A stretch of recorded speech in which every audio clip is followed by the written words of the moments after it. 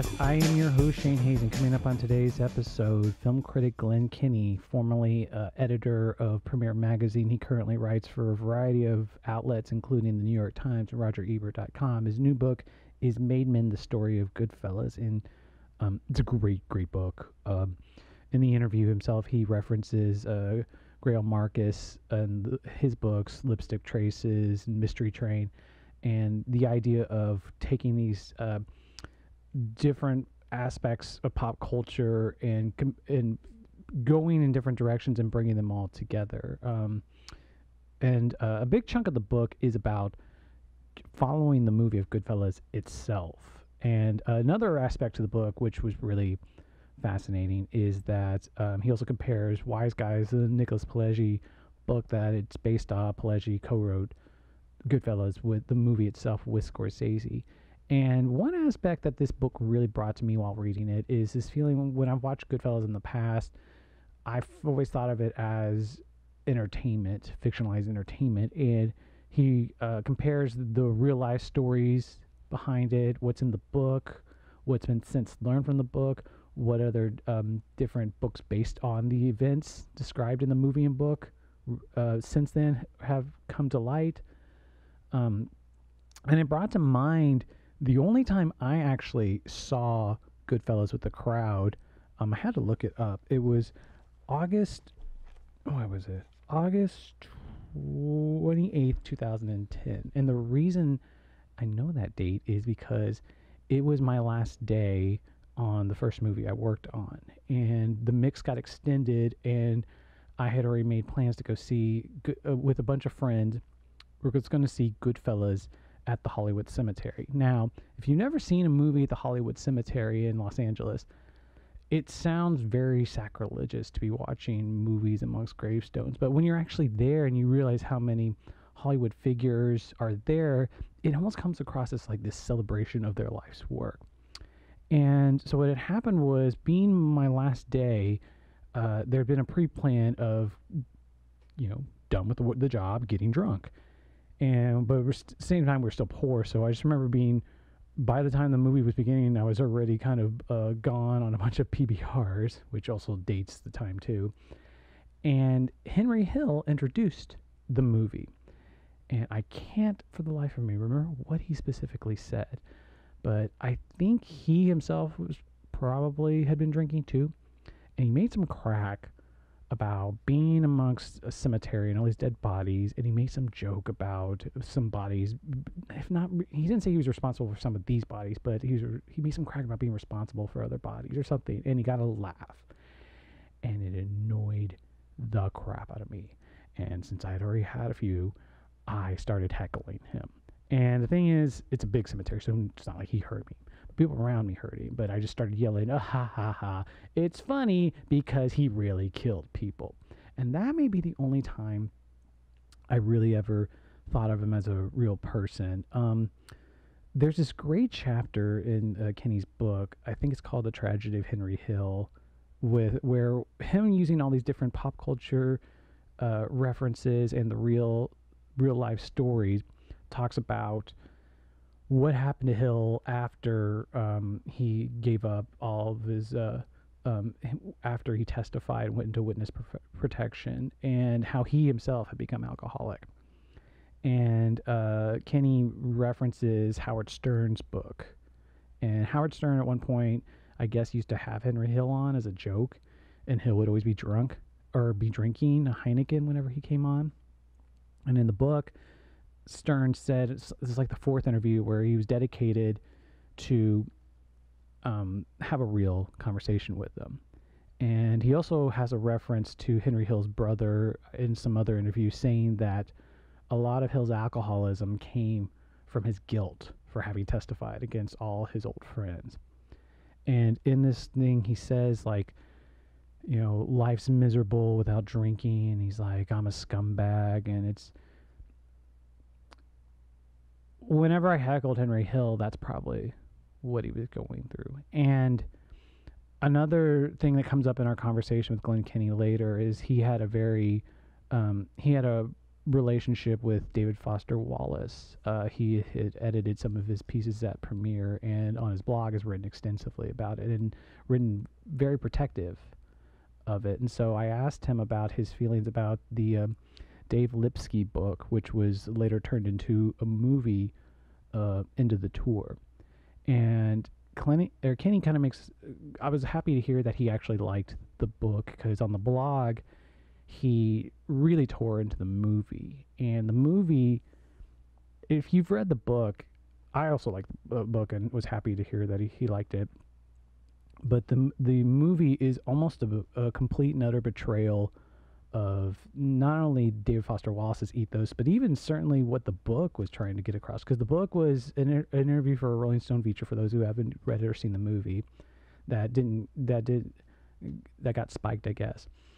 And the movie ends up being this just really base like commodification of their relationship, where it's all about these petty jealousies, and it's about um, Lipsky as a writer writing his own book and trying to make his own na- literary name while doing these side features for a novelist like David Foster Wallace, who's going to be known as, you know, at the time voice of generation type type laudits, and Lipsky's book is so much more about it. It's it's it's trying to understand the book itself and also about how once someone creates something like that, that like uh, Foster Wallace was trying to do something nuanced about how it feels to be alive and all the complexity in turn of it. And he knew that he was doing this interview to sell the book and how it was going to be commodified. And the movie, in turn, takes that story and simplifies it and commodifies it into about two people fighting to sell something. And again, what's fascinating with Kenny's book about Goodfellas is when I heard Henry Hill, when I think now about that time heckling Henry Hill, he was a real person going through some stuff. And I mean, obviously, you know, he was a mobster who killed people, but it's just a complicated subject in terms of adaptation of real stories, them being commodified and one of the things Kenny's book really illuminates is the entertainment value, the real stories, and it's a great read. And I hope you enjoy the conversation with him.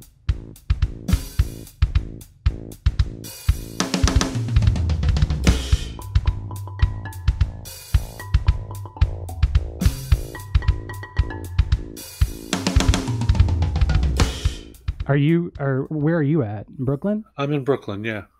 Okay. What what um are you like? You how long have you lived in Brooklyn?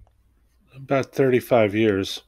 Okay. So did you are you mainly East Coast, New Jersey, New York area? Did you ever live outside yeah. of it? Or? No, I've I've only lived in I lived in Dublin, Ohio for about two months in 1996 working a job, but I've lived in the same uh, about a 50 mile radius my entire life.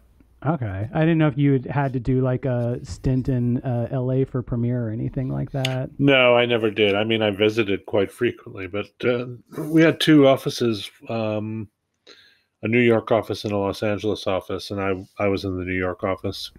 Mm. Uh, t- before we were or, um, we were talking about doing this episode, Ted was mentioning really excitedly. All three of us, I think, are.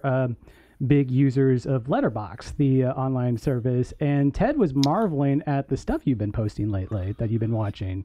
Well, I mean, you know, I I, I mainly got on Letterboxd to just um, keep my own diary of what I was watching, so I knew what I was watching, um, which I could have just as well done on paper, I suppose, but I'm not that disciplined. Um, it just seemed an easier way and so I have been on Letterboxd, and uh, yeah, I just put down everything I watch, and it's kind of um, funny because I, I, have some people who follow me who are very um, intent on like using my letterboxd feed to read tea leaves about what I may or may not be reviewing, which is pretty easy to do because if I see something and I don't give it stars or anything like that, and it's something that's not out yet, you know, people can say, "Oh, you're going to review that," and I, you know, it is a it's a little it's a little bit spoilerish, I guess, because there's some people who will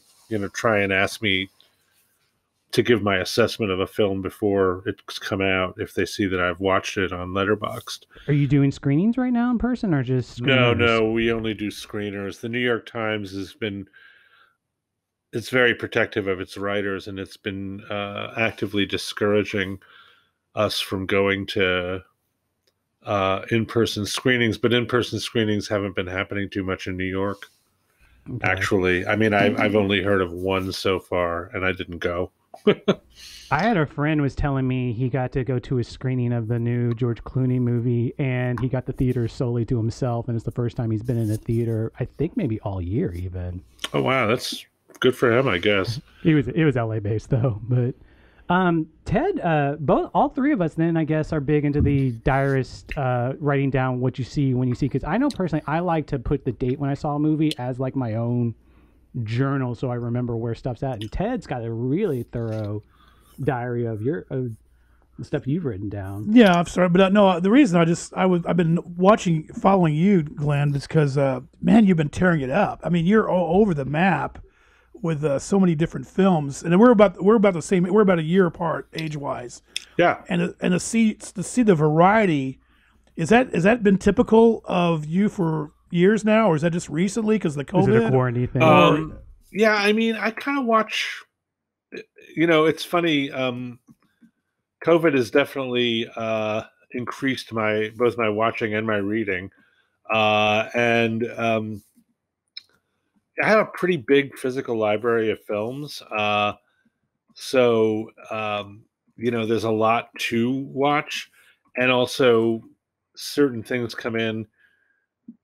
And then there's like my mood. You know, my wife was away for eight weeks, so I kind of was at liberty to watch, you know, anything at any time. And a lot of the times during my wife's absence, I sort of gravitated towards mindless, lurid exploitation films and stuff like that, just to sort of take my mind off of my isolation in a different way than usual. But it, it really is, if I'm not watching it for the reason that I'm reviewing it, uh, it's just it's just whatever strikes my mood at the time. Or, you know, I get a something I ordered, you know, I've been ordering uh certain amount from Vinegar Syndrome, a certain amount from my friends over in England at Powerhouse Indicator. So if I get their big uh, sweet charity package, I will look at that to see. You know, they do a great job with mastering and authoring and everything. So I'll want to look at that. Um, Vinegar Syndrome's. Uh, my friend Jonathan Hertzberg has a new sort of DVD Blu-ray imprint called Fun City Editions, and he put out Amos Poe's Alphabet City and uh, a movie from Britain called I Start Counting, which is really fabulous. So you know, I, I watch those as soon as I get them, and I have the the Powerhouse Fu Manchu box, which I was going through. Uh, although now my wife's home, so I may have to pause that.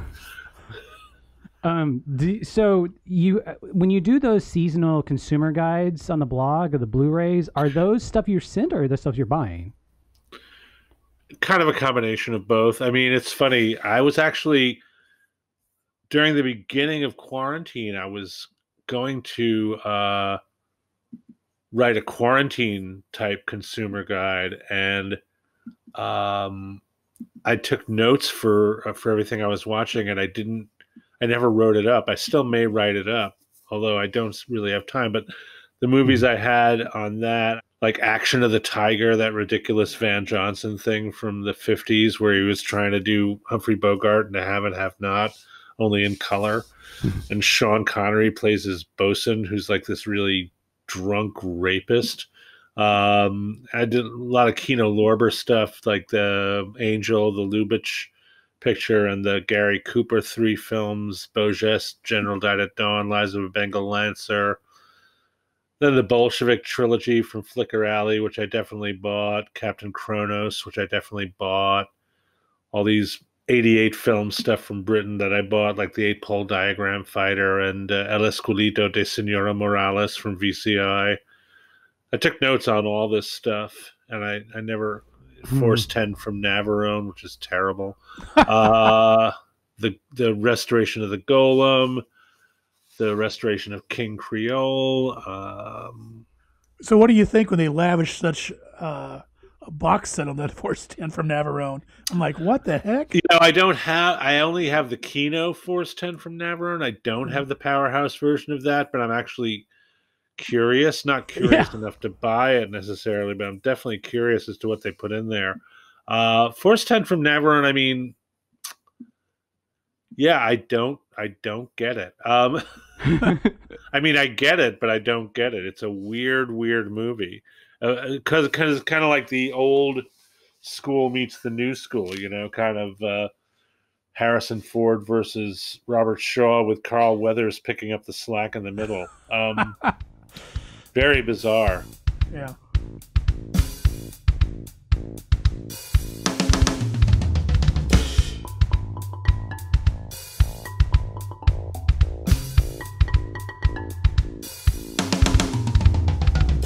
So let's go ahead and rewind back. So where exactly are you from? Fort Lee, New Jersey, which is the with the birth of Hollywood. Really, the birth of the American film industry was right there. Uh, you don't you don't see much of it. There's uh, especially now.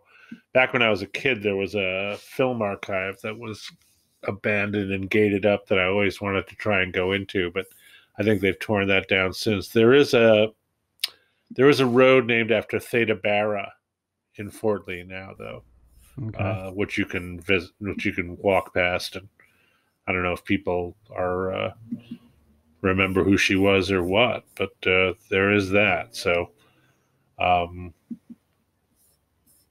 uh, but yeah, that's where I was born, and uh, then we moved to Cliffside Park and various locales around Bergen and Passaic County. Uh, yeah, I moved around New, New Jersey a lot, and then I moved to New York in 1985, I guess. okay. Do you um do you remember your first movie, either in the theater or the first one you ever saw? Yeah, my family legend has it that I was sitting between my parents at uh, a drive-in in 1960 uh, when I was one year old, and they were watching Psycho, and I was sort of sitting there, being very uh, attentive to it. And this is the legend of my of my uh, cinephilia, so to speak. Uh, again, that's very uh, that's apocryphal.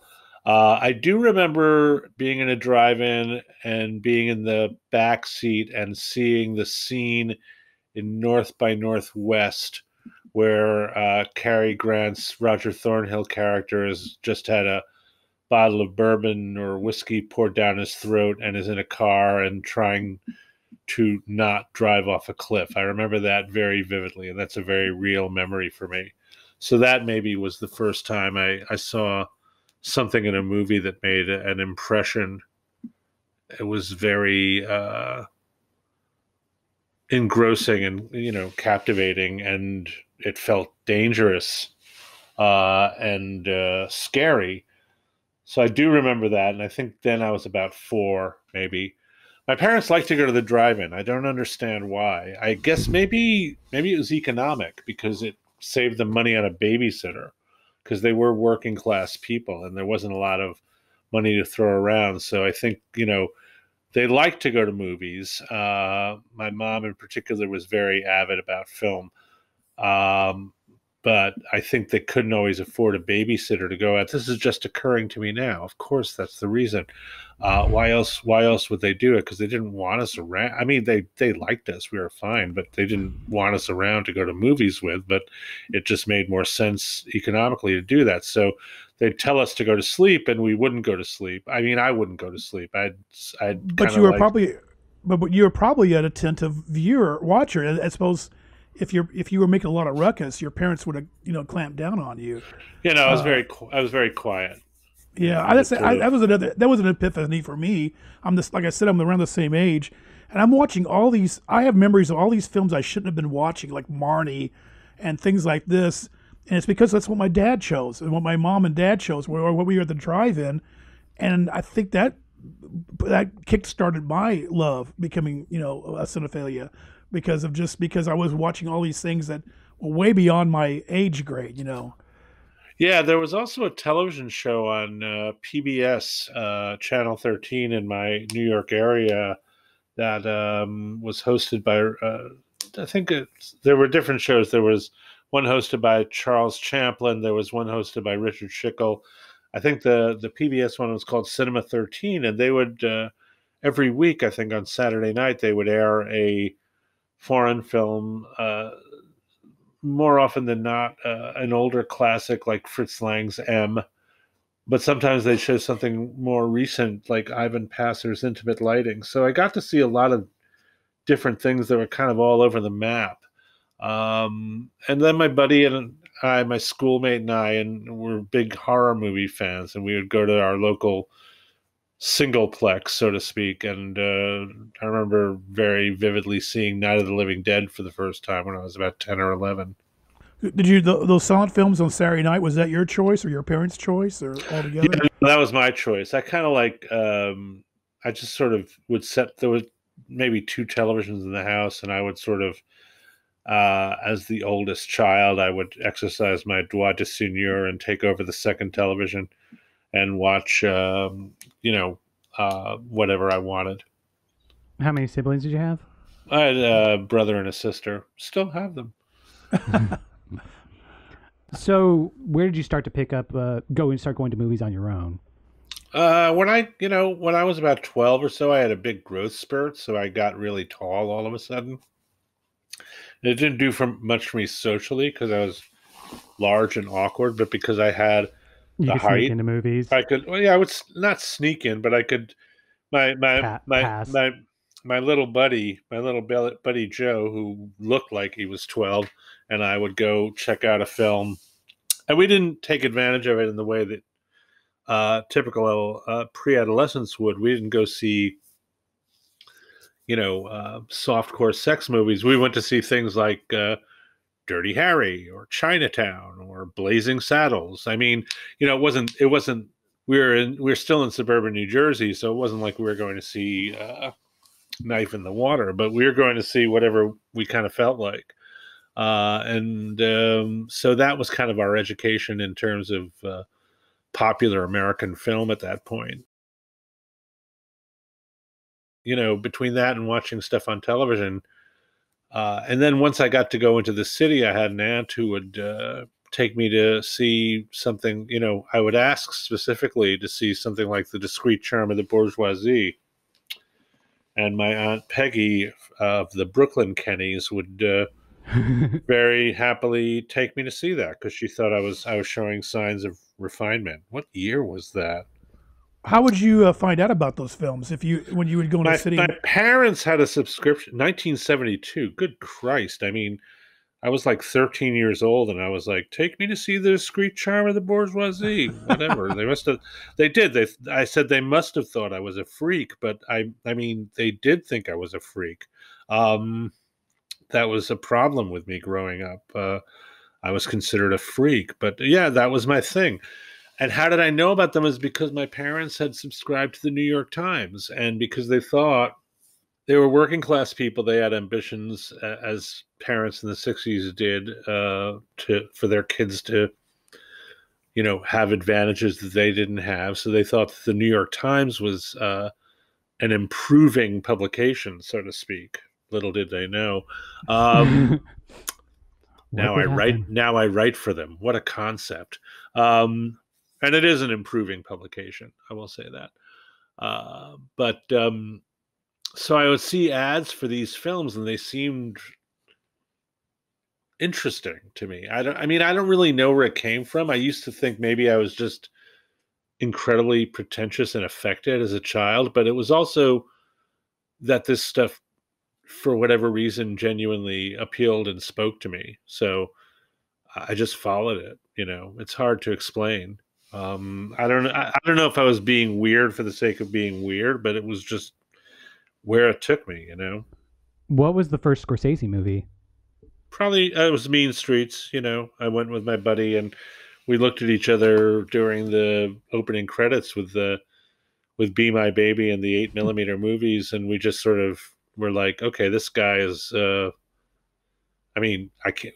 He's you know older than we are, and and all this other stuff. But he's like by 17, 20, uh, 17 years or so. But like, this guy is from the same place we're from, you know, with a divide of almost 20, 20 years. So we saw that and we were impressed by that. Yeah.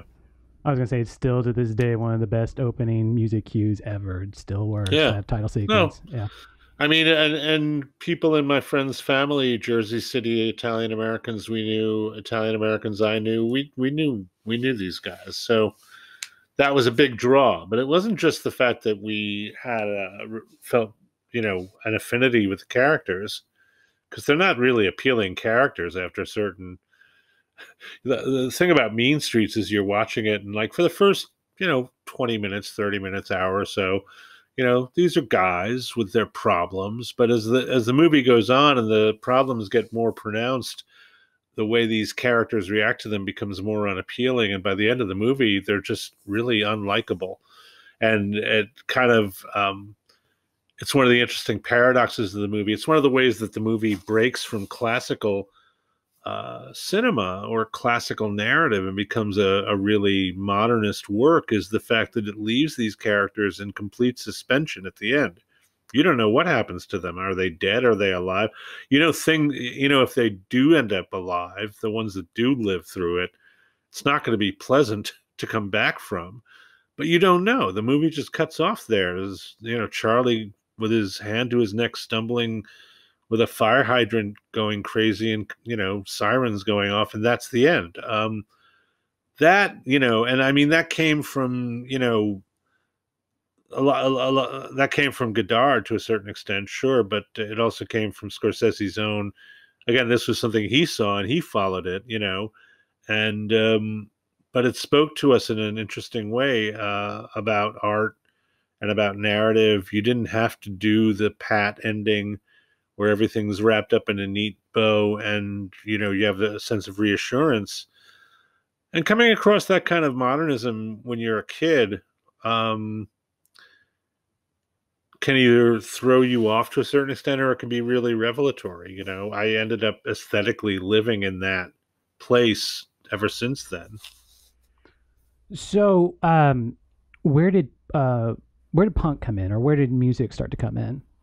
Yeah, I was I was a big music kid. I, I maybe music even before film. I was a big as, as a little boy. I was a big Beatle maniac. I begged my parents to get me a Beatle record when I was like five years old, and they did. They bought me and for Christmas of 1964. They bought Beatles 65 for me, and because uh, it was out in you know late 1964 and that was the first record I ever owned, and I wore that out. You know, that was a huge thing for me, and I had all those different reactions that kids have to that kind of music at the time. You know, the Beatles were approachable and friendly. Um, the Rolling Stones were threatening and unsavory. Uh, you know, and you, as a Catholic boy, I tried to, you know, side with the Beatles most of the time. But once I got into the Stones and the Velvet Underground, then you started thinking differently. You didn't really think of these things in terms of their actual musical content as much as the semiotics of what the groups represented. Um, so uh, that was kind of a, I think that's uh, that became kind of a practical fallacy of rock criticism itself, you know. And I became a rock critic, and I um, very quickly became not I wouldn't say disillusioned because that's a little pompous, but I, I became dissatisfied with my mode of rock criticism very quickly after doing it professionally for a while because I realized I really didn't know what I was talking about. Like I really didn't know what really? I was talking about. Like I because but in the same way that so many other critics don't know what they're talking about because they have no working technical understanding of music and no understanding of the music, the vocabulary of music or anything like that.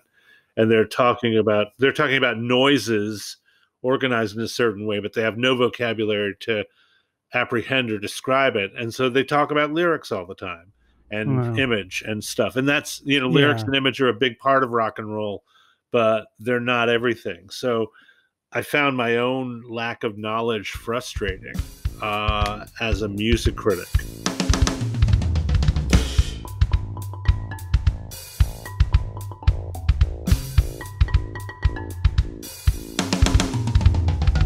I know in the book, uh, in the most recent, the the Goodfellas book, like your your technical stance on film is pretty spot on. Because I find myself really annoyed with a lot of the ways critics typically write about film, or have they always seem to have this like anecdotal, half wrong, half right description of how films are made, and you seem to like really do your research on a lot of this too. Well, I mean, that's the thing. My own reaction to how rock criticism was done, I think, informed my approach to film criticism to a certain extent. But I also don't think that I acquired, you know, I, I still think I'm learning a lot. And I started Sure. to acquire a much more technical appreciation of how film was done and, and film language.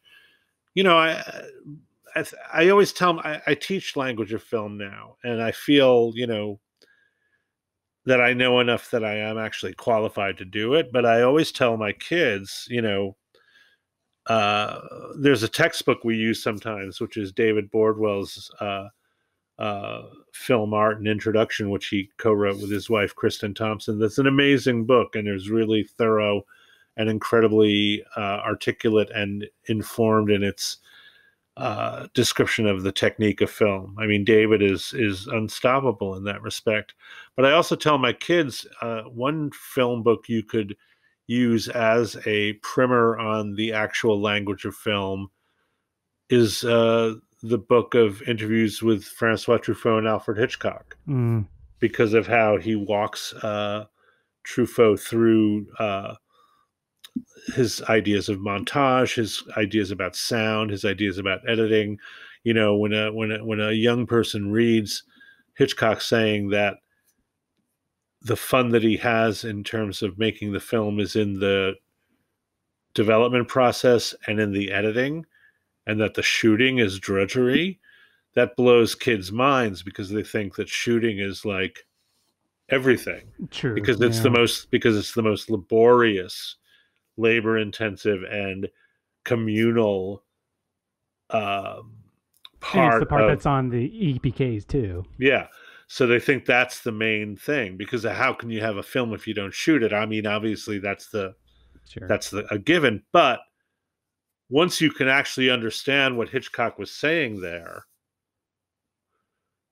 then your awareness of and openness to the possibilities of how film is made becomes a whole other ball game uh, and that to me is uh, fascinating. Um, so, so your music criticism, you would have been. This would have been at the Village Voice when you started out.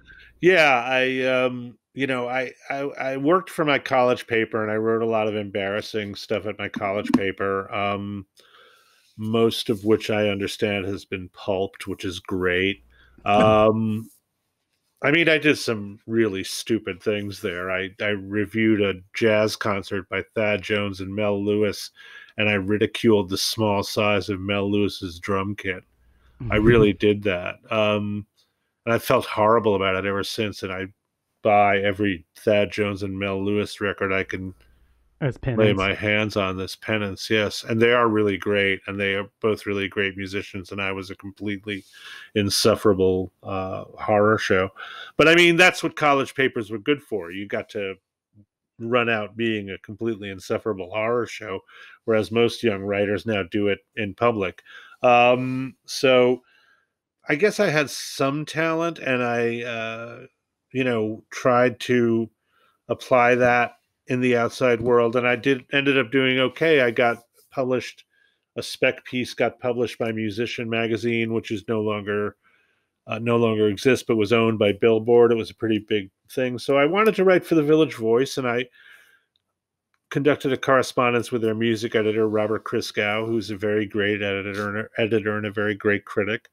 Um, and I started writing for The Voice, and that was fun. Uh, it was educational in ways both social and professional, Hmm. and um, it helped me get a full time job at a magazine called Video Review, where I actually rewrote the test reports. One of the things that was a big deal at Video Review were test reports of home video equipment, camcorders, uh, VHS players, um, Laserdisc players. This is before Blu-rays or uh, DVDs. Uh, and I learned more. You know, I've forgotten more about video technology, all all of which is now obsolete than most people ever knew. And um, you know, you uh, signal to noise ratios and this and that. And it's really interesting stuff. And so I got a technical vocabulary in that, which is worthless now. But I also started writing about film there because we reviewed uh, laserdiscs, and I was a big. I was immediately a big laserdisc person, Mm. um, you know, and we had a lot of great film critics on our roster. We worked with Andrew Sarris and Molly Haskell, Uh, um, Schickel wrote for us, Neal Gabler. Um, William K. Everson, the very, very great film historian, was a writer for Video Review, and I actually showed him how to work a Laserdisc player when the first Laserdisc of uh, D.W. Griffith's Birth of a Nation was released. So uh, that too was very educational, and meeting people who were film collectors uh, and seeing obscure films on 16 millimeter uh, in in people's living rooms, and and building a collection of stuff on uh, VHS. So I would write about laserdiscs. So I, I was, I, you know, this is all the way back in 1985, uh, 86, and I would, you know, do assessments of commentaries on laserdiscs. I heard the uh, the Scorsese Schrader commentary on uh, the Taxi Driver laserdisc, which you know was never was only revived uh, many years later. One. Yeah, the Criterion one. That and that was something else. That was pretty amazing. Um, so you know, stuff like that was also again fun, educational, all that good stuff. Um, and you know, gave me a chance to uh, to practice a certain kind of criticism right off the bat that was very helpful later on. I mean, I didn't actually write film criticism in terms of new releases until the mid 90s when I was at Premiere magazine. And I was I wasn't brought on to Premiere magazine as a critic. I was brought on as an editor. As a journalist, like with just because Well- the, What happened was the guy who was at Premiere had a huge staff turnover. And the guy who became editor in chief after that was a guy named Jim Meigs who had worked with at Video Review. And what he called was that was 1996.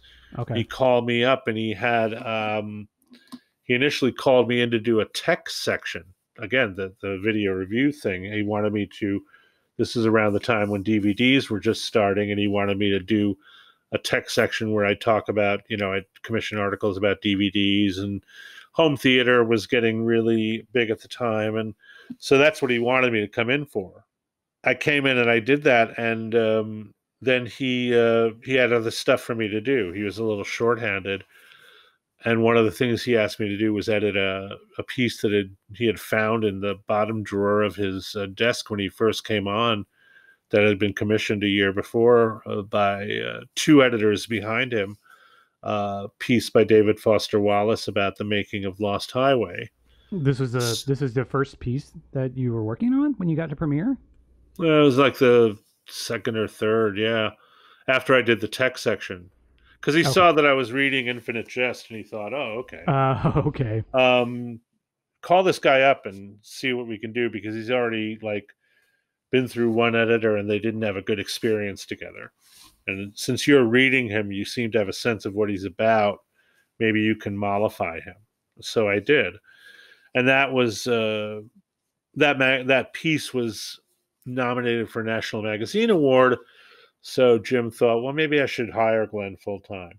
Um, and uh, so that happened. And then a couple of years into doing that, uh, it became, um, well, we should have a film review section and Glenn should write the reviews. And I'm like, you know, I'm just sitting there minding my own business. And they're like, yeah, you should be the film critic. I'm like, okay. uh, I was like, I was like Pete Davidson on one of those Saturday Night Live sketches. Oh, Okay. Just a lot of tattoos showing up, and Well, um, no, not, not do- in terms of the tattoos, just the sort of like, okay.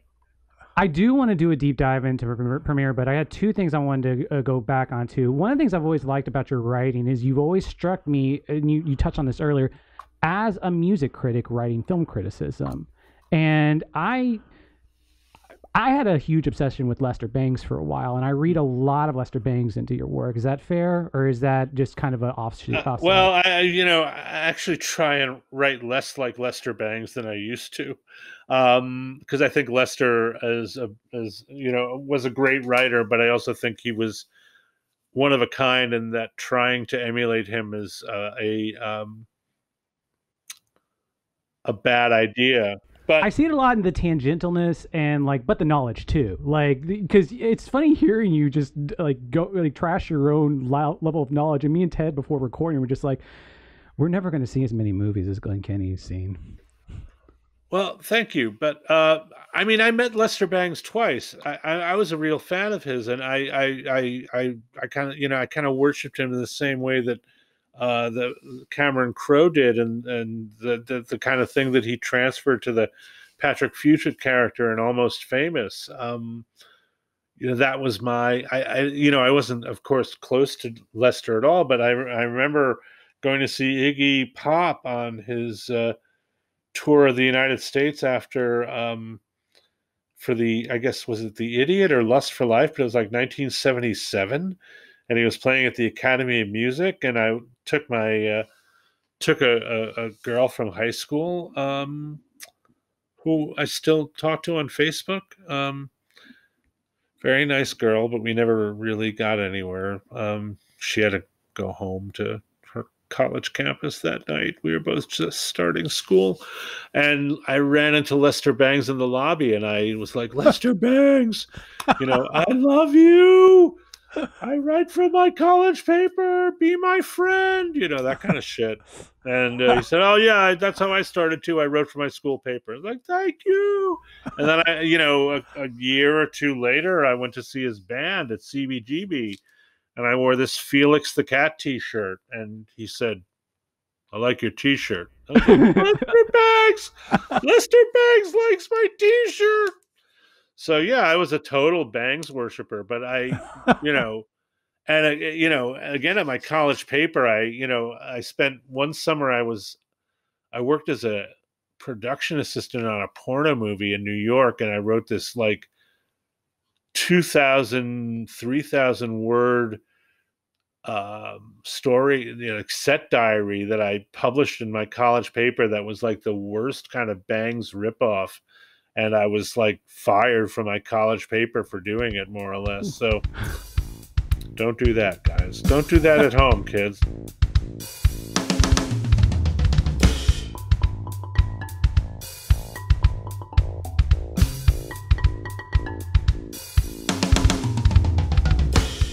But speaking of porn, that brings up you mentioned David Foster Wallace. Um, the literary aspect. I feel like you're one. Of, like there's there's not critics. You know, obviously have to be pretty um, facile with uh, or good with writing in general. But like you only think of like the more eloquent ones being like Roger Ebert or Pauline Kael or James Agee But like you seem to have a really strong literary influence too. What were you reading in your teen years and into your twenties?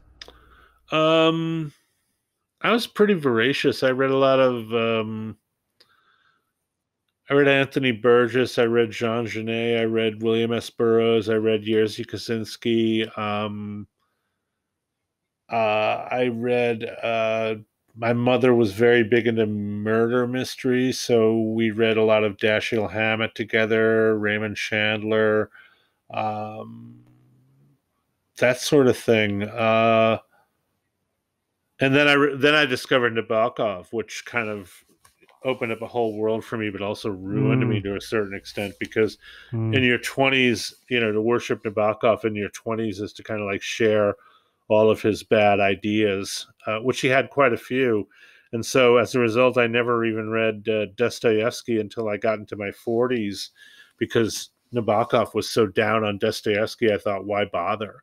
but Nabokov was like he also got me into writers like Raymond Queneau and Alain Robbe-Grillet. So that was very useful.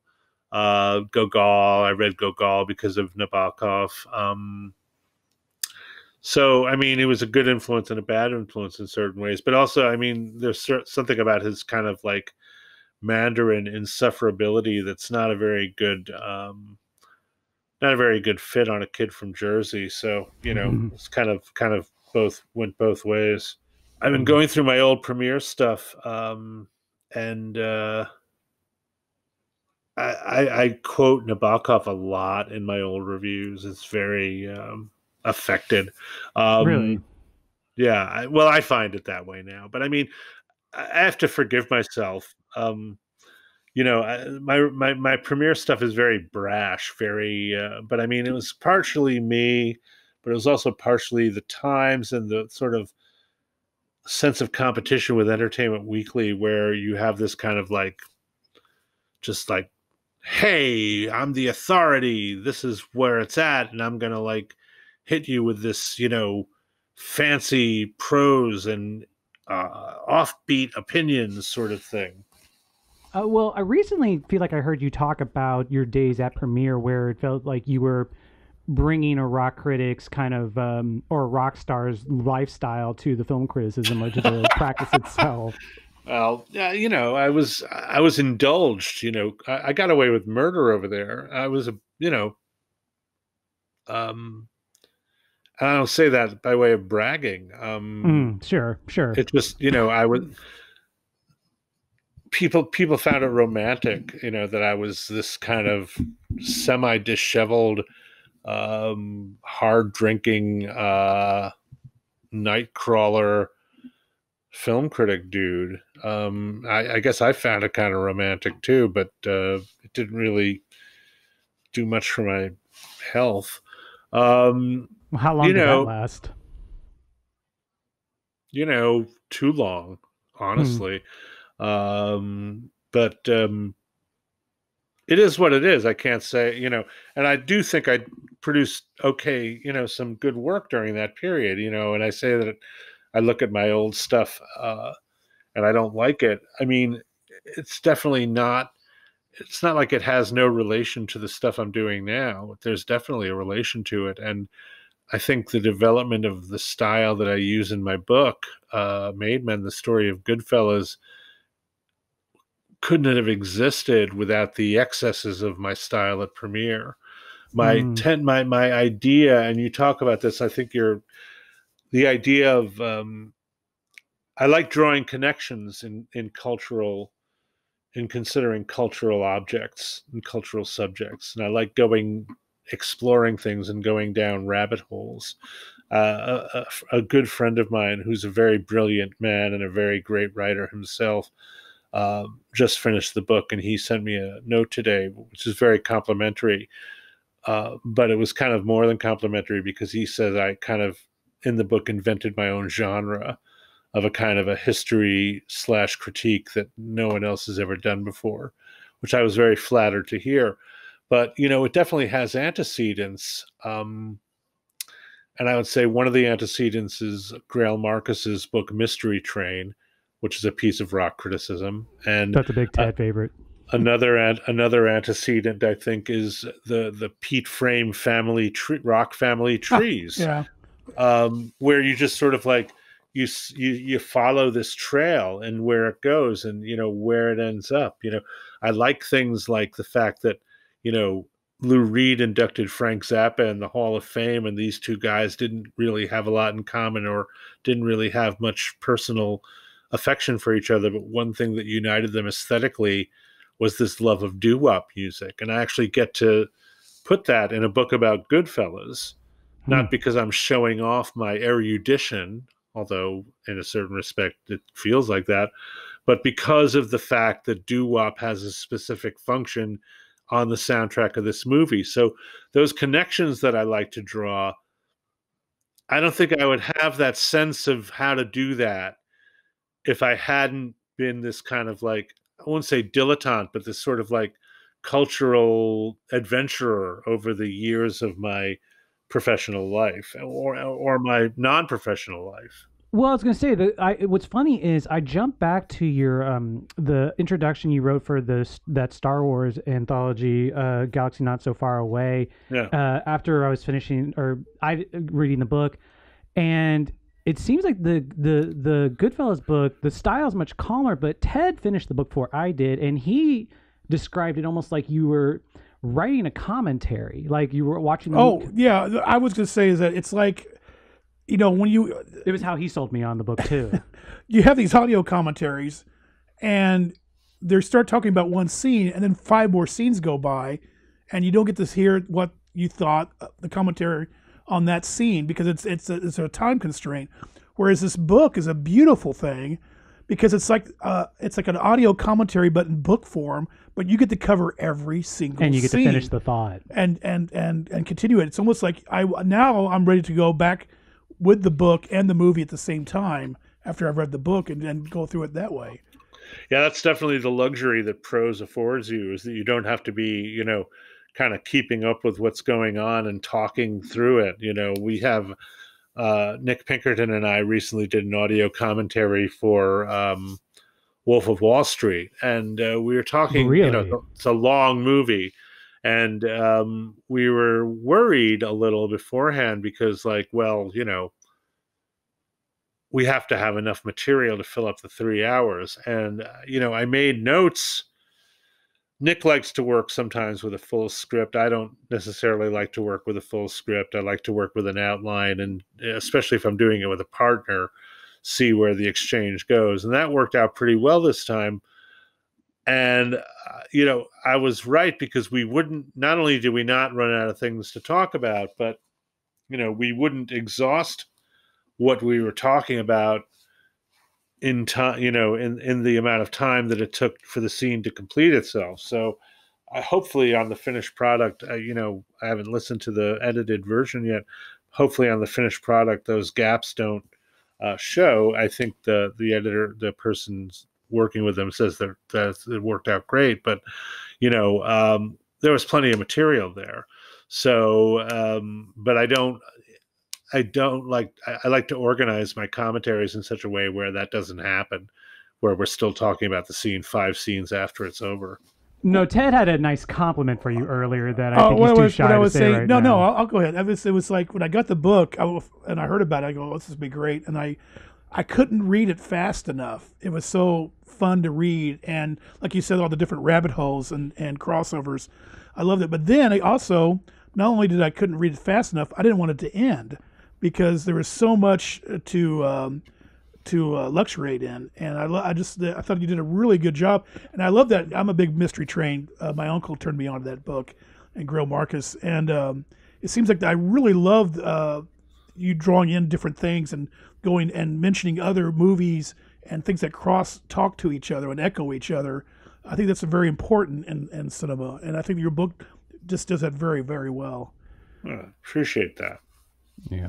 Um, I'm actually still finishing the book. I just finished the uh, movie section of the book, and Ted uh, alerted me that I have the best parts of the book still to look forward to. Uh, you get a whole section on music on all the songs. That's great. The breakdown on the songs is just fantastic. I noticed that Tarantino seems to be doing that lately. Have you seen his uh, essays over on the uh, the New Beverly. New Beverly? Oh He yeah, does- he- sure. Yeah, he does like he, he starts out on Escape from Alcatraz, and all of a sudden he's off on a tangent on Charles Bronson or something, and goes off way off, and then comes and then he draws it back in. You know. Yeah, no, he's fascinating. He could use an editor though, and uh, yeah, I like the thing he did in Video Watchdog with Tim Lucas about his um, Sequels. 50 favorite sequels. That was one of the Yeah. best things I've ever read. That's incredible. I did want to go back one last time to David Foster Wallace. I feel like uh, in the stuff I've read of yours, you've been very protective of the stuff you published of his, and I know you were particularly annoyed with the um, End of the Tour movie too. Yes, I was. Did you feel Uh, the same way about the book? The because I actually No, I actually book? like I I thought the I book the was book, too. okay. Yeah, the book was fine. Uh, the movie was a whole other issue. Uh, commodification and, uh, crap. yeah, just a lot of yeah. It, uh, you know, I, I thought everything about it was kind of wrong, and I uh, I didn't think Segel was particularly good as David. I didn't like the whole it was kind of funny. I mean, I felt you know after a while I felt bad for David Lipsky because he in the film he just kind of becomes a stooge, you know, and it becomes this self fulfilling prophecy. You know that the, the, lesser talented writer, supposedly, or at least the way the they well, you know, mythologize it. It's like his his best selling book is still this. You know, it's not the art fair. You know, um, and uh, you know, I'm unfamiliar with the art fair. That's the book he's trying to get Dave to read, the, the his own oh. novel. So oh. I don't know. It sort of becomes this thing where you know you've made this commodity of this of this of this object you have that you just happened because of happenstance that you have all these tapes, and that's now you. Mm. So that's that's your that's your body of work. Mm. Um, I I was uh, thinking of your writing the other day on. Uh, do you remember? It would have been around 2011. Do you remember getting really mad at? Um, it was a New York Times essay about. I remember getting um, really mad all through 2011. sure, um, it was about the phrase. It was either cinematic vegetables or cultural vegetables. Oh God, yeah, no, we're not going to talk about that. Um, it was. I can tell you exactly when it was. I can tell you exactly when it was, and it wasn't 2011. It might have been. I felt guilty because I liked the phrase. Basically, I I I I, I remember the essay having some like really silly observations in it, but I, re- I remember uh, thinking the uh, phrase the other day. That's fine. I mean, you can like the phrase, but no, I remember exactly. It was the night that Steve Reich was playing Carnegie Hall. I, I liked it as a phrase because there are certain movies that I know while I'm watching. I was thinking about it. Actually, it was a few episodes back. Um, I was thinking about because I was watching Hard to Be a God, and the movie did not engage me within the first ten minutes because I was distracted and I wasn't paying attention to details. So it was not the movie's fault. It was my fault. And so I finished the next three hours of the movie appreciating the movie. But I hmm. remember thinking, like, I need to see this movie again and a better thing. And the phrase seemed to apply to it. It was just like, I'm taking my, I always have, you have a first viewing where I always kind of a what happens next, where I just understand what's happening in the movie. And then a few years later, I'm going to see it and appreciate it for the context of it better. But it just felt like a phrase, it just, the phrase fit whenever I was watching it. I, I, I, see Hard to Be a, a, God as a screwball comedy, so I don't know what you're even getting at. I've watched that movie. I've, I've seen that movie about 12 times. 12 times. It just gets funnier every time. Ooh, it's like okay. it's like it's like three hours worth of what, how do you know he's king because he doesn't because he hasn't got shit all over him. Everybody's got shit all over him. No, that movie is amazing to me. Uh, if you think that's hard stuff, have you ever seen uh, Zulawski's uh, on the Silver Globe? Woo-hoo-hoo-hoo. We were just uh, Ted, Ted and I just did an episode on possession, and we were talking about it. Alienating science fiction movies. Now, I think German, Alexei German, is a god of cinema. So, um, you know, everything he does, I, I lap up. Was a Does Silver Globe on... have like like intertitles for the stuff that wasn't shot? Yeah, no, or... he he shoots himself in a store mirror or something, and he tells you, well, this next sequence we shot, and uh, this was fucked up by so and so, and that's how he interconnects it. So, but at least German got you know his his kid and his widow completed uh, "Hard to Be a God" relatively seamlessly. But mm-hmm. um, German also made some great uh, great World War II movie, Trial on the Road. Uh, the Russians make the best World War II movies. It's mm. all snow cigarettes, jammed machine guns, and horrible Nazis. Um, every single one, in, except Come and See, which doesn't have snow. Um,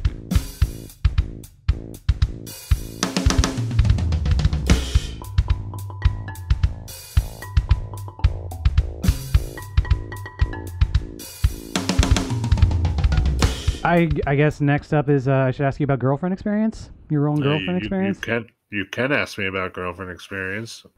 Uh, again, yeah, I mean, through, was this through Brian Koppelman and David Levien?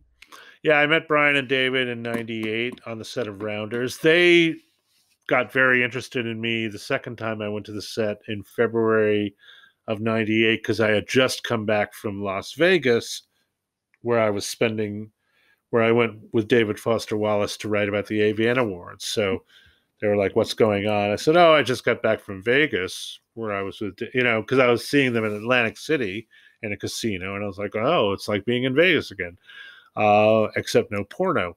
And they were like, "Oh, you you were hanging out with David Foster Wallace at the AVN Awards. What was that like?" And that was the beginning of our friendship. And then ten years later, two thousand eight, uh, Premiere had folded. I had spent a better part of about eight months working for the Premiere website, which was miserable. I got fired from the Premiere website. I uh, started becoming a stay at home drunk.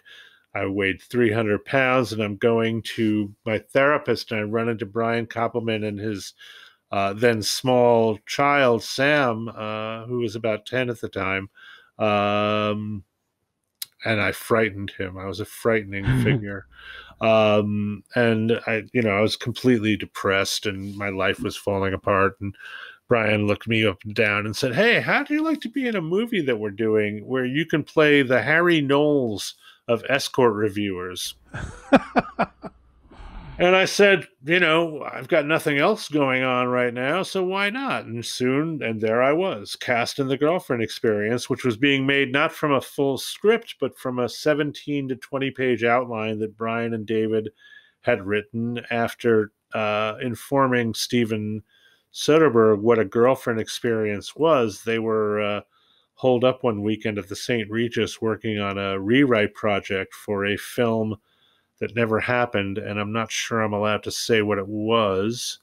It was based on a novel, and the novel has since actually been adapted into a very bad film. But this one they were working with would have been a much better film.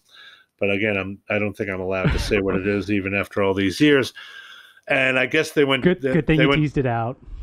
They went down to the King Cole room, and Steven saw this couple and he thought there was something weird off about them. And it was an older man and a very young, elegant, attractive woman. And Brian was like, Oh, that's girlfriend experience. And Steven's like, What's girlfriend experience? And, oh, you never heard of that? No, no, no, no, no. So Steven's like, Aha, I must make a film out of this. And he uh, had this deal with Mark Cuban and Paul Todd Wagner to make these digital films. And the principle of the digital film was that um, he wanted to make them not according to like dogma style rules, but he had a, his own parameters for making them. He would not use a full script. He would not use professional actors. He would get a, a an outline and he would have the actors improvise the dialogue. And so that's how the idea for girlfriend experience came in. And I was told to research in in, in the world of escorting. Um, there are men who are referred to as hobbyists and these hobbyists run their own websites and they solicit escorts and have sex with them and run reviews of them. And these guys are the bane of the existence of high priced escorts because they will complain about things. I'm not going to get into too much more detail because it's kind Sure. of disgusting. They'll uh, they'll complain, you know, uh, about things. Um, and it's really kind of distasteful. So I was being asked to play one of these people. Sure. So you Uh, research everything and then improv? No, I didn't research everything. I researched Oh, some uh, research. You did some research. Yeah, I did. I you know, I didn't see an escort, but I remember going to the set for the first time. I shot for 2 days and I had to write my review. And me and Greg Jacobs actually had to sit down and go to a couple of sites to get the tone and it was really upsetting. Um so yeah, the first thing I had to do was be on the phone with Chelsea, Chelsea the escort, played by Sasha Grey, a lovely young woman. And I had to talk her into meeting me in person, meeting my character in person. I had, I decided the name of my website and the name of my uh, persona would be um, the erotic connoisseur. And I was shocked that no one that no one had actually ta- in the real world, no one had actually taken that. I thought that was great. Mm. So I could use it because no one had taken it. So I was the erotic connoisseur. And um, I had to give this character a you really want to work with me kind of sales pitch. it was very Harvey Weinstein actually. Mm. We actually talked about this, and somebody said, "Yeah, it's it's kind of a Harvey Weinstein. You really want to work with me, kind of pitch." We didn't even have to talk about the sexual component because obviously, given the scenario of a guy and an escort, the sexual component's built in. But we weren't even thinking about What we Harvey's own now. about Harvey's own depredations in that respect, but just Harvey's kind of general way of pitching people, male or female, that you really want to work with me. I can do all this great stuff for you. So that was my thing, and he had me on the phone with her. I was in uh, in another room, and she was out on a on a patio in the same apartment. And he told me to just, you know, talk her into it until she agreed. And I was like, I don't know how to do that. I don't know how to get a, a woman who's a professional escort to give me a freebie. This is outside my realm of expertise. But, you know, he. And he was shooting her outside, talking to me as I was hectoring her, because that's essentially what I was doing. Hmm. And then eventually we got to a certain point and he yelled cut. That was fine. And then I had the in person meeting with her about a week later. It's a very quick shooting schedule. I think they shot for 14 days. And then he took about five days for reshoots. Shit. Um, I mean, he was doing it all digitally. He was his own, it was, it was the early days of being his own cinematographer and all this other stuff. The whole point of these things was to do them quick. Um, And he still shoots very uh, relatively quickly. I've always heard him talk going fast. I just, I mean, like 21 days is like the like typical amount of days for like the like lowest rung budget movie right now. So, but I mean, it makes sense considering how fast he's uh, gotten. Suppose, um, but what is so? Is that your? I mean, I know you you said you don't want to. You're not reviewing Soderbergh movies. Is that your connection with them? Just the movie, or do you guys? Did you know people around his his team or what? Yeah, my wife works for him. Oh, okay. well, That's the that's the end of that. Uh, That's the explanation there. Uh, yeah, he he, pay, he pays my health insurance. okay. Well, there's that. Conflict conflict of interest. It's a complete. Co- by the way, and it has nothing to do with my being on girlfriend experience. It's just something happened completely outside of that. That that uh, that resulted in her taking a job in his office. Okay. You know, if we if we need to cut anything, I can, we can cut anything. It's fine. That's no fine. I mean, she's on IMDb. Okay. Easy enough. Uh, I was gonna say Ted and I both uh, watched um, the late De Niro movie Stone because of your book. The Yeah. Oh, yeah. book when we both discovered it because of that. Yeah, it was one of those films that the the trailer played. We had a we have a manager here at a family owned theater. He'll he'll play the interesting trailers, and it never came. It never came here. I had to go hunt it down after your book came out because I'm I'm in you know I'm in that mode, and, and we're the same age. There was a period where every De Niro film was an event. You'd go and you knew you were in for something. And now it's just like, oh, I don't know. I'm starting the aughts to go down. Right. So, and- I, have a, I have a funny story about that. You know, and it was interesting too because you know the Anatomy of an Actor books were all formatted. They were published by Phaidon Cahiers du Cinema, and they all have to adhere to a strict format, and it's very French. Um, you know, you have to have a filmography, and the filmography is director, producer, screenwriter, set decorator. They don't want production designer. They don't want art director. They want set decorator. And if you put art director in instead of the set decorator, they'll say, no, that's the art director. Put in the set decorator. And then the cast. And that's the filmography at the end of the book. So, because it's strictly formatted, it has to fit a certain folio, folio being the page count. So, you know, it's a, it becomes a matter of things being art directed to a certain extent where, you know, if you have, you know, column B that's going longer, that means you're going over the allotted folio and you have to cut from column A. So at the end of doing the De Niro Anatomy of an Actor book, he had a film coming out every two weeks. So I had to add a new film every two weeks, uh, you know, before submitting the final manuscript. And every time I added a film, that was 10 lines that because it would go over the folio that was allotted, that was 10 lines I had to cut from my main text. oh man. So I had about three weeks of this nightmare of cutting stuff from my actual book so I could put in this stupid filmography entry of 10 lines where I make sure that I know who the fucking set decorator is because they won't accept it if it's a if it's a designer or an art director. Hilarious. But the thing about the the other thing about the format was that you have sidebars and you get to talk you get an intro and you get an outro so you get to talk about all the matter of the career but the 10 chapters are 10 specific films over the course of the career that are going to give you the sense of the quote anatomy of an actor unquote and towards the end i'm getting a little stuck for stuff you know what i'm saying so stone actually was a godsend because it's a good movie it's a good de niro performance and i was friendly with edward norton and he would talk to me about it and i almost gave mm-hmm. that whole chapter to edward and he was great you know but it's also a good movie and i mean he's made good movies yeah. since then but they're kind of few and far between yeah, how do you? I mean, uh, what's your what? Well, I, I, was trying to read that, uh, reread it last night. What is your take? What is he just? Uh, that's just his uh, mantra now. Is just to, uh, to take the money and run, put it into Tribeca, or no, no, no. I don't think it's. I don't think it's that crass. I think it's a lot of different things. You know, I interviewed Christopher Walken uh, when I was at Premiere, and I, you know, he was it was during a period when he was appearing in a lot of you know, co-starring with The Rock and this, that, and the other thing. And you know, and I think it's something we don't understand as uh, outsiders um, because we don't, we we haven't suffered what they've suffered, which is literally years of rejection.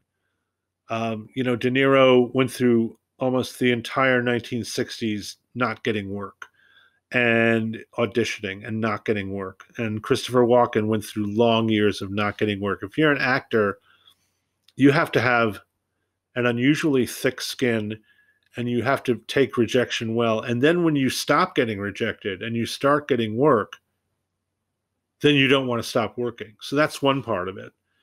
Uh, Walken was very frank with me when I put the question to him because I was comfortable enough to be able to put the question to him of like, why do you do what you do? Your your filmography is all over the place. He says, "This is my job. I'm a performer. This is what I do." And if people want me to do it, I will do it for them. I think De Niro feels similarly, but also, um, if you read Shawn Levy's biography of De Niro, which is very good, um, De Niro has a lot of business interests. Um, and not all of them have been hugely successful. De mm-hmm. Niro also pays alimony. He pays child support. I don't think he pays child support anymore, but he did pay child support. But he pays alimony. He's been married a bunch of times. Um, and you know, the, in his current divorce from Grace Hightower, she's seeking a lot of money. So mm-hmm. there is a financial aspect to it as well. I think it's largely that he wants to keep working. That makes sense. I guess I was just kind of comparing to like the 80s or something like that, where he was being more choosy. Well, and also to be fair, I mean, as I don't even know it was he was being more choosy so much as he had an agent who was trying to get him to certain places in his career. And once he got to those places, he could then take advantage of the fact that he would be offered a lot of money to do stuff. You have to remember that we as cinephiles saw Robert De Niro as a movie star 10 years before he was actually a movie star. I was going to say you, you mentioned that in the book specifically. Yeah, like it was midnight. midnight Harry Harry Ufland's, his own agent, said he'll never be a movie star. He doesn't have it in him but he wanted it and he got it, and that was Midnight Run. And how many years into his career was Midnight Run? It was more than ten years into his film career. If you go from uh, you know Born to Win or something like that to uh, Midnight Run, it's almost it's fifteen years. So you know he he made okay money, but also the films were being made at a slower pace. They took more time to make. He needed to take a year off, you know, six months or however long off to make to do Raging Bull to gain the weight. So, and then once stardom came, then all sorts of possibilities opened up, including the the possibilities of being in really bad films. You know, I think at the time he was doing Raging Bull, the possibility for him to get work in films of those caliber did not exist. I think I think we also I, have finally realized too we forget that Jimmy Stewart, Henry Fonda, all the major stars if you look at the tail end of their careers, TV. there, there's a lot of stuff that is forgotten about or not as kind of embarrassing for them, and and they were doing the job, like you said. Not all of which is terrible, you know. Uh, some of which is okay, but some Right. of which is embarrassing. You know, the magic of Lassie, where Jimmy Stewart sings about how we need Lassie. That's not great, but it's also not uninteresting. Right.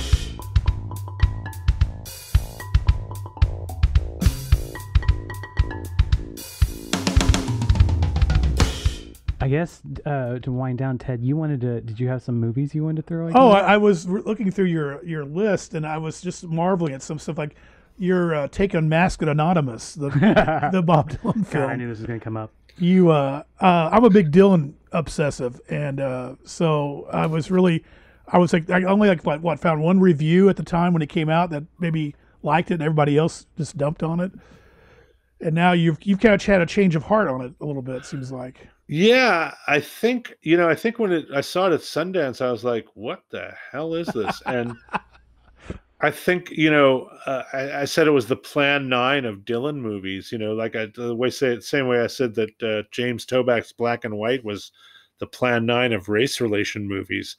Um, I think it plays much more interestingly now. It's still kind of hard to sit through, um, but it's also it has some very interesting moments when he's walking down those stairs or he's on that bus and he's going to walk down those stairs into that kind of like barrio of the forsaken and they're playing the song one more cup of coffee and i'm like this is really haunting you know? Um i, I really want to see renaldo and clara now you know? It's just like one of those things um where i find dylan kind of utterly fascinating well speaking of renaldo and clara uh you didn't mind you the uh, rolling thunder movie i know a lot of uh, viewers and critics and, and fans that were just so upset that scorsese how dare they put these fake things in here I was like, I saw it in a theater and I was watching it.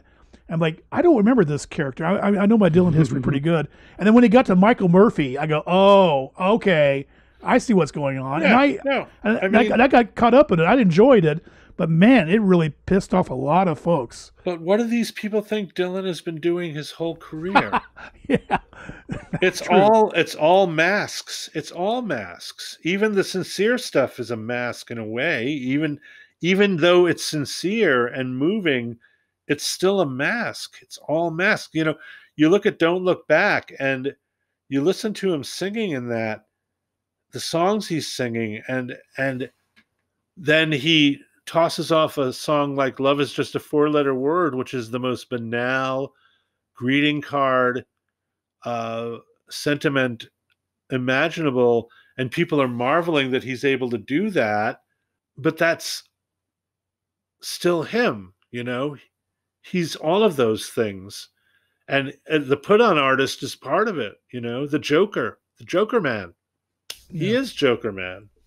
right. So yeah, I, I was I was really. How about the uh, hard ticket to Hawaii? I, I noticed that you gave. You, I love it. I love Andy Sidaris. I love anything he does. I just, I think I- he's, how did you get hooked into him? Uh, just just uh, you know, I mean, I, I've always liked trash. I mean, when I was when I was growing up, I, uh, when I went to college, I went to Wayne, I went to William Paterson College, and I lived in Paterson uh, in '78, and it was a rough neighborhood. And I knew this guy very briefly, a guy named Don Markle, who used to just sort of we nobody knew what he did or what he was doing. He hung around a college. He wasn't a student. He was a little older. He smoked a lot of weed. He drank a lot of bourbon, and he'd sit around at night smoking cigarettes, staying up till all hours of the morning, drinking, smoking cigarettes, and watching They Saved Hitler's Brain on Channel 9. You know, I remember when, you know, the Medveds, Harry and Michael, put out the Golden Turkey book, and they had this film festival in New York called the World's Worst Film Festival. And then they would have, like, They Saved Hitler's Brain on a big screen. But I, Don Markle is this guy I knew in like 1977 when I first went to college and he was all about horrible films and going to the plaza and seeing you know uh, Dracula's Dog, um, Horror High, and just getting is is the first person I ever smoked pot with, and you just get really stoned and you'd watch these terrible movies. And he wanted to make a film. They their apartment was right by the Paterson Falls, and they had this wrecked refrigerator that they were going to shoot it in 16 millimeter. They were going to like sh- throw the refrigerator into the Passaic River and and and film it going over the falls, and they were going to name the movie Blue Water White Kelvinator.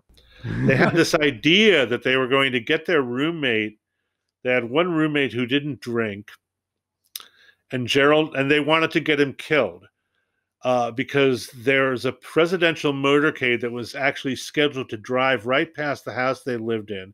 They were going to get this guy drunk. They were going to spin him around three times. They were going to put a fake gun in his hand, and they were going to push him out onto the front lawn just as the motorcade for President Ford was going by, and they were going to have the Secret Service kill him as a practical joke. So uh, that didn't work out because it rained that day. So this was like my first college friend. Uh, so he got me into bad movies. And then when the Medveds put out Golden Turkeys, and then when Michael Weldon, who became a good friend of mine in the 80s, put out the Psychotronic Encyclopedia Film, this stuff, you know, I mean, there was a long time that Night of the Living Dead was considered a trash movie. So, you know, I, I I'll, I'll, uh, you know, I like, I always felt that part of the reason cinema is so great is because it is both a medium of high art and the lowest exploitation. And that sensationalism is built into cinema's appeal.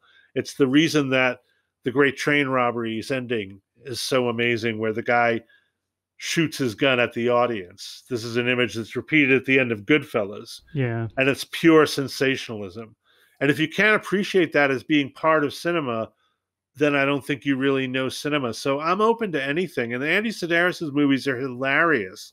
The whole idea of like these busty Playboy playmates who can't act, wielding weaponry and killing guys, and then saying, "Well, let's go over the case in the hot tub."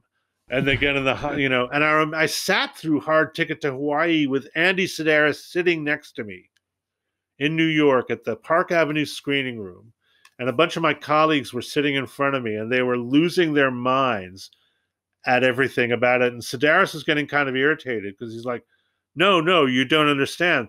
There's the big plot twist coming up. the plot twist was the snake, the giant snake coming out of the toilet.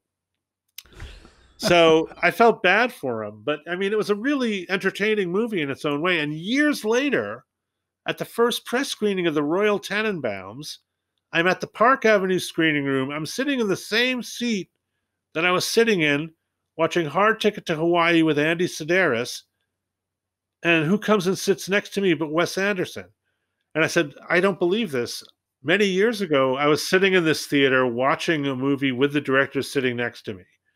And it was, and he had no idea who Andy Sidaris was. and, I, and, I, didn't really have time to go into it because the lights came down soon. But mm someday I'll I'll see Wes again and I'll I'll tell him all about it. so yeah, I mean, I love I love that stuff. You know, I love uh, my a friend of mine who who who's uh, who does a fanzine about pulps. Um, he was really into Andy Sidaris and like he'd compare notes about the different acting skills of the different Playboy playmates he'd put in the films. Um, and they're all bad, but they're very they're very game I like that quality of just sort of being willing to put it all out there for Andy Sidaris. What about your quote? I got. I like this. Uh, I'm curious about your quote for uh, "Once Upon a Time in Hollywood." My thought upon leaving the screening was, "God damn him! He did exactly what I did not wish for him." No, I mean, I didn't. And he made me love him, it. I didn't want him to rewrite history that way. I thought it was sacrilege. Um, and yet he, because I didn't realize, even I didn't understand, given the title, that this was his his Hollywood fairy tale, and that was during the last image, the overhead shot of of Rick standing outside the gate of of the Polanski Tate home, and it just says "Once upon a time." I'm like, oh, of course, yeah. This is his. This is his way it wanted it to turn out. Judge I thought, and that's that's and that's legitimate and it's you know people it's it is a love letter uh so yeah i was very moved by it actually and i thought it was a, a blast and i also admire, admired the fact that i came in prepared to be appalled and i was delighted i you know when an artist can do that that's um that's great artistry I've noticed you went you went through all the uh, recent Universal releases of Eastwood uh, from Kino Lorber. Any uh, any new fresh take on those? Watching them again? You know, I listened to my friend Nick's commentary on the Eiger sanction. That was very good. I recommend everybody listen to that when they see it. Uh, he's a good director. You know, uh, always has been. Misty is really as objectionable as it plays in certain aspects of it, it's a very assured piece of work. It's actually a lot fancier than in terms of cinematic style and language than he eventually became. He definitely distilled that because there's a lot of Hitchcock influence in it. But um, you know, he's clearly um, he's not a dilettante. Um, he's, he's a real director. You know, he and and and he always has been. Have we had anybody that we can compare him to in, in cinema history? His career, such a no. I think I, th- I, think he's unique. Um, yeah. And I I uh, I am full of admiration for him. Always have been. Well, I guess the one last thing I wanted to ask was, since both of us enjoyed Made Men so much, are you? I mean, I, obviously you're going to be wor- you're going to be writing consistently, but uh, do you got any new book proposals out? Are you working on a new book? Is I there... hope to be working on a new book very soon, and I can't talk about it because the idea is still very fresh. Okay. The deal sure. the deal is not yet made, but hopefully it'll be made soon. And I think it'll surprise some people, but it also has a logic that if you look at what I've done in Made Men definitely made sense. So I'm looking forward to being able to share it. And I hope to be able to share it before the end of the year or by oh, the turn of the year. Cool. And uh, that's that's something I'm looking forward to. I think one of the biggest charms for me of the book was how well you adapted to long form, and I, I can't wait for another book from you. So yes, that's same here. That's great news. I had I had fun doing it, and I hope to have fun doing the next one. I hope to have more time to do the next one too, because hmm. uh, I had to do this one in about a year, which isn't not enough. Hmm. Well, certainly, I think for anybody that's interested in films and and just the the, it's not one of those books you want you want to read it more than once. I think because there's so much info in there, and and and and watch it with the movie itself. So I that's think very it, kind. I appreciate that. Uh, Glenn Kenny, I want to thank you for being on the podcast. Thank you. I'm so glad I did it.